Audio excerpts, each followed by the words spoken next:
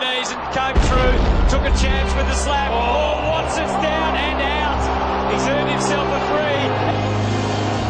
The good news is Watson's up. Let's have a look. Who was it? He's Bo Waters. No, Bo Waters. Yeah, it was almost like a clash of heads, wasn't it? Went him low. Did look like his shoulder, though did he make contact here with Joe Watson.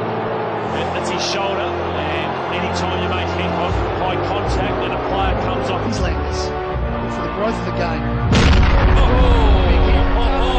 Spoke the local comp last week and have a look at this. Oh yeah, no, he knew what he was doing there. Shoulder end, didn't he? That was And, uh, nice. just What well, I'm not sure what the numbers have turned out. Still with wonderful courage and that hurt. That really hurt the tough guy, and he's in trouble.